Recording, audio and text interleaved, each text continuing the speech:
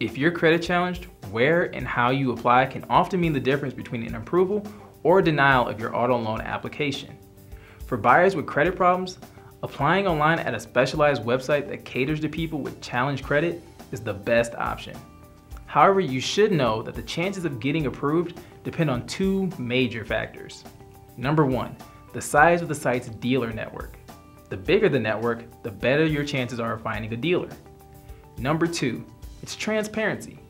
Transparency has to do with the website itself. Is the online credit application secure? Does the company belong to the Better Business Bureau?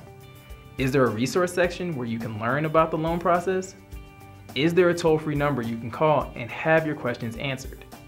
If it doesn't have all these features, you might want to consider one that does before submitting your personal information.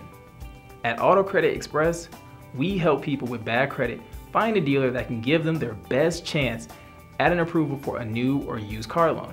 You can always visit us at autocreditexpressvideo.com to learn more.